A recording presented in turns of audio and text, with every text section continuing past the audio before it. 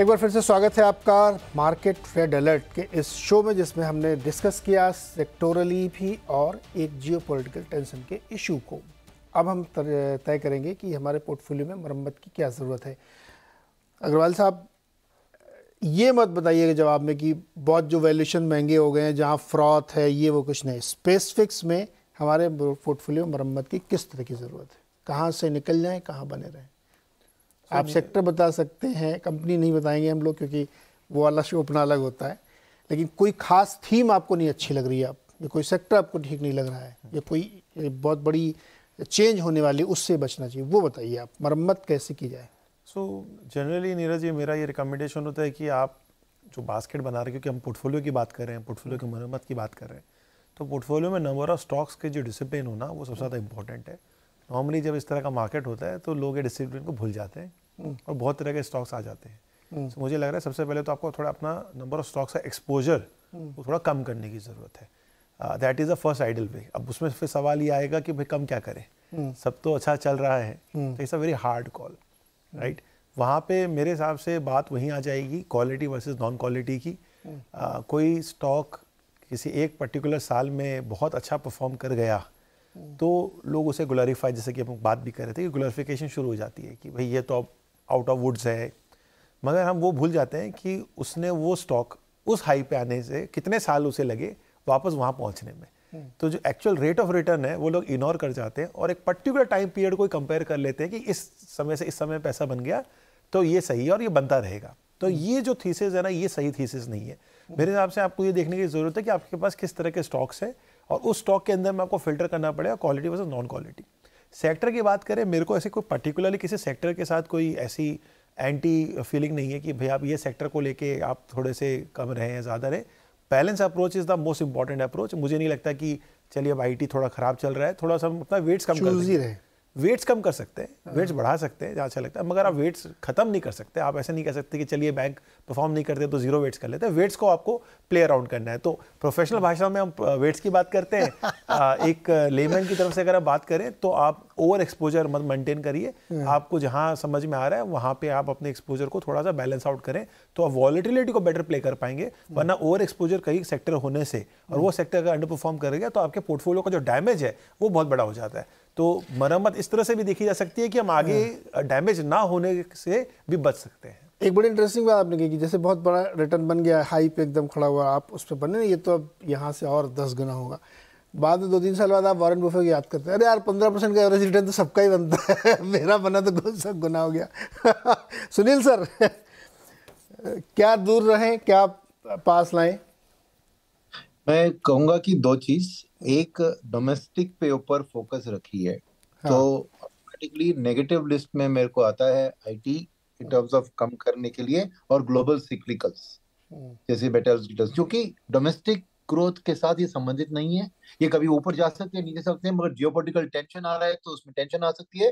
तो keep as an investor आप focus अपना कोर पोर्टफोलियो को डोमेस्टिक ओरिएंटेड स्टॉक्स पे रखिए। वो नंबर वन नंबर टू आप जो कह रहे थे वही बात थी कि जिसमें बहुत बड़ा चेंज हुआ है प्राइसेस में, मगर ग्राउंड लेवल में कोरिलेशन नहीं है। मैं पीएसयूस की बात करूँगा यहाँ पीएसयूस में इतनी हवा चल के इतना, मगर आप सच में देखिए, मोदी जी की जो एक अम्ब्रेला है, उसको छोड़कर ज़मीन में पीएसयूस में क्या बदलाव हुआ है? प्रोफेशनलिज्म ये, वो सेम उनका जो ब्लोटेड एम्प्लॉय टर्नओवर है बेसिकली उनकी भी वो पेंशन और ये लाइबिलिटीज है और एफिशिएंसीज नहीं है। तो पीएसयूस में जो रैली हुआ है ना उसमें बहुत पैसा बहुत लोगों को बनाया है तो प्रॉफिट बुक करके उसको पैर डाउन कीजिए। प्योरली बिकॉज़ मैं एक लॉजिकल रीजन नहीं देख रहा हूँ कि पीयूसीयूस में इतना बड़ा रिटर्न क्यों बना। क्योंकि लिक्विडिटी आई, जो भी कारण हुआ है तो ग्राउंड रियलिटी में उनके ईपीएस e या उनकी जो प्रोडक्टिविटी और एफिशिएंसी में उतना ज़्यादा बदलाव नहीं हुआ है, जितना कि प्राइस बदला है। तो मैं उधर सलाह दूँगा। तीसरी बात है कि जितना ऊपर गया है, उसको कम करें, जिस, जिसका ऊपर नहीं गया है, उसको बढ़ाए। डोमेस्टिक ओरिएंटेड में banks and NBFCs and banking and financial services BFSI space में। आप देख रही कुछ दिन से मार्केट में वो चले नहीं है। जो भी कारण है अगर अल्टीमेटली इंडिया का ग्रोथ स्टोरी चाहे वो कैपेक्स ड्रिवन हो या कंज्यूमर डिस्ट्रेशनी हो, वो लेंडिंग के ज़रिए ही फुलफिल हो सकती है। सिमिलरली हमारी पर capital income over the by the end of the decade दुगना होने वाली है तो not only higher and discretionary का ग्रोथ होगा बट आपको सेविंग्स की भी बढ़त होगी। शिफ्टिंग इनटू दिस तो फाइनेंशियल सर्विसेज़ जो दोनों तरफ़ प्ले करते हैं लाइबिलिटीज में भी और एसेट्स में भी जैसे broking houses wealth management firms AMCs insurance तो ये सब चीज़ इंडिया की ग्रोथ स्टोरी से जुड़े हुए हैं। मार्केट ने उतना उनको अभी रिस्पेक्ट नहीं दिया है वैल्यूएशन उतने बड़े नहीं है। यस रीजनेबल है उधर मगर वो अक्यूमुलेट करेंगे तो इंडिया की ग्रोथ स्टोरी के साथ उनकी ईपीएस की भी एक वी शेप रिकवरी आप देखेंगे तो उसके कारण आपका पैसा बनेगा। इवन valuations don't change उनकी actual EPS growth will be better तो ये मेरी तीन ब्रॉड नहीं बहुत मोटी बात आपने कही लेकिन बहुत महीन है वो कि चाहे कैपेक्स की ग्रोथ हो चाहे कंज्यूमर डिस्क्रिशनरी की हो पैसा तो लोन से लेना पड़ेगा और लोन लेना पड़ेगा तो बैंक एंड फाइनेंशियल्स में तो चलना ही पड़ेगा क्योंकि ग्रोथ स्टोरी वहीं से है। और डेट वैसे भी ग्रोथ कैपिटल में मानता हूँ। पंकज जी एक चीज़ बताइए must have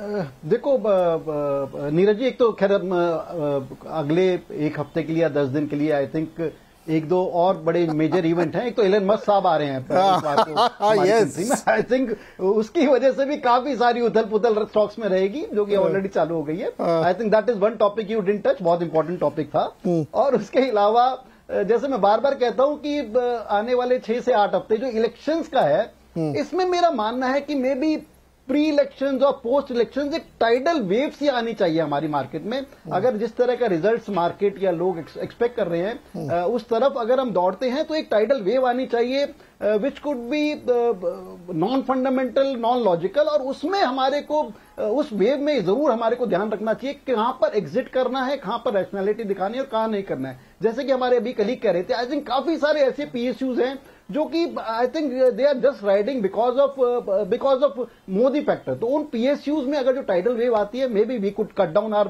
stake may could maybe we could book our profit उसके अलावा स्मॉल कैप्स में, जो समय कह रहा था कि मार्च में जो हमने ब्रूटल करेक्शन देखी थी, काफ़ी सारे ऐसे स्मॉल कैप में जो अभी भी उनके नियर अबाउट नहीं आ पाए because they were divide of quality उन तरह के स्टॉक से बाहर हुए, अगर आप नहीं हो पाए तो उनसे बाहर होंगे उसके अलावा अगर हम सेक्टर स्पेसिफिक बात करें मैं दो मिनट और लूँगा आपके I think there are two three evolving sector जो कि हमने देखा है कि पिछले हम्म। दो तीन महीने में काफ़ी अच्छे इवॉल्व हुए हैं और शायद मार्केट या इन्वेस्टर्स पूरी तरह उसमें इन्वेस्टेड नहीं है वन इज़ टेलीकॉम मेरे को लगता है जो टेलीकॉम में आजकल हो रहा है, जैसे आइडिया का भी एफपीओ आ रहा है, जिस तरह से भारतीय टेली के, आ रहे हैं और जिस तरह से मान के चल रहे हैं कि अगले एक साल में ए आर यू डिसेंटली बढ़ने वाला है और गवर्नमेंट का पूरा पूरा सपोर्ट है इस सेक्टर को।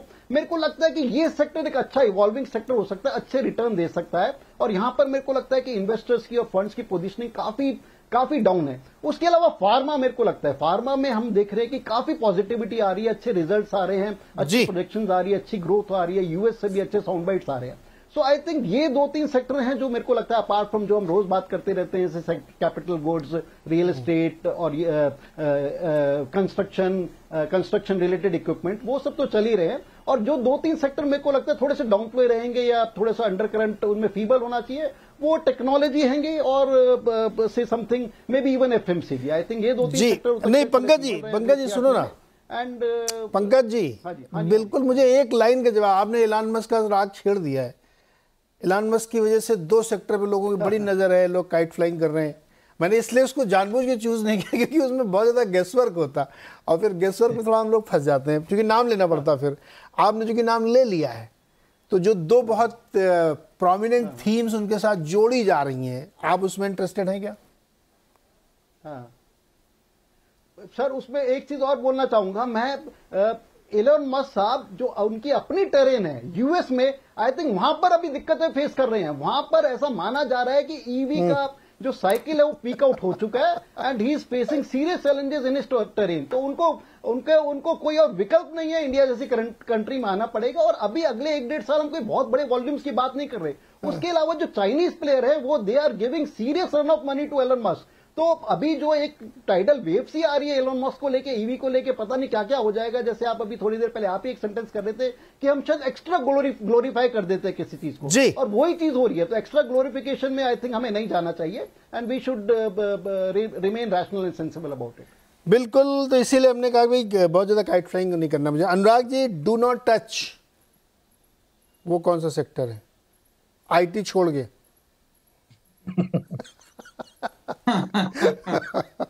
नहीं आ, इंडिया में तो ऐसा हाँ मैं तो नीरज जी वो सरकारी कंपनीज़ को ही कहूँगा कुल मिलाकर के वो old wine in new bottle.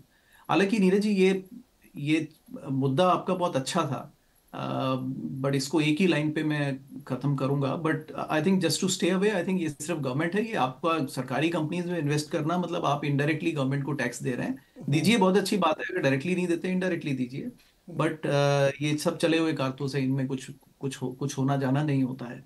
और ये ये कहानियाँ एक्सपीरियंस से आती हैं जो हम पहले कहानियाँ सुन चुके हैं तो हम उतने एक्साइटेड नहीं होते हैं। जो नए लोग कहानियाँ सुन रहे हैं there more excited right I understand that but I think और इस पे कभी बाद में और डिटेल में चर्चा करेंगे but I think Indian markets को not the economy but the markets and even economy को टू सर्टन एक्सटेंट एक ही चीज़ से डरना चाहिए नीरज जी वो है complacency I think we are becoming too complacent and things like ये तो बढ़ना ही बढ़ना है ये तो होगा ही होगा इंडिया में तो आना ही पड़ेगा।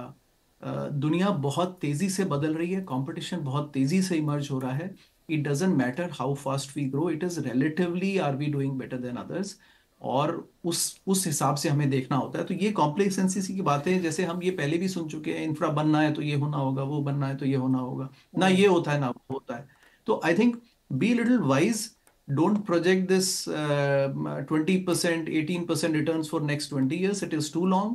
Uh, और आई थिंक ये डिकेड बड़ा अलर्ट रहने का है। दुनिया hmm. बहुत बड़े तेज़ी से चेंज होते हैं। Complacency is the only thing that we need to worry about though इसमें बिल्कुल आपने सही एनालाइज किया। इसमें मेरे मेरा एक पर्सपेक्टिव थोड़ा सा अलग से मैं कहता हूँ कि एक चीज़ से डरना चाहिए वो है टेक्नोलॉजिकल डिसरप्शन इसके अलावा मुझे किसी चीज़ से डर नहीं लगता। ना मुझे सरकार की पॉलिसी से डर लगता, ना मुझे टैक्स से डर लगता, ना मुझे डेट से डर लगता। मुझे लगता है जब जिस दिन टेक्नोलॉजी डिसरप्ट होती है ना, वो पूरा गेम बिगाड़ दी क्योंकि उसके बारे में आप सोच भी नहीं सकते हैं। और वहाँ पे बहुत सारी हमने कंपनीज़ को देखा है, बर्बाद हो गई हैं। तो जो आपने कहा कॉम्प्लिसेंसी वो इस सेंस में मुझे लगता है ज़रूर होनी चाहिए कि दुनिया में क्या बदल रहा है। इस पर अगर आपकी नज़र है, तब तो आप सही चल पाएँगे। अगर उसमें से आप सो गए तो फिर कोई आपको बचा नहीं सकता, गवर्नमेंट भी नहीं बचा पाएगी। इसलिए टेक्नोलॉजिकली बहुत स्ट्रांग होना चाहिए। बहुत बहुत शुक्रिया सर, आप सभी मेहमानों को हमारे साथ जुड़ने के लिए। तीन बहुत प्रोमिनेंट इश्यूज़ जो थे इस वक्त, इस हफ़्ते के, वो हमने डिस्कस किए। और अगले हफ़्ते हो सकता है मस्क जी कुछ ऐसा करें तो फिर पंकज जी की इच्छा पूरी होगी। हम लोग उस पर ज़रूर डिस्कस करेंगे नेक्स्ट वीक बहुत बहुत शुक्रिया आज के लिए हमारे साथ जुड़ने के लिए।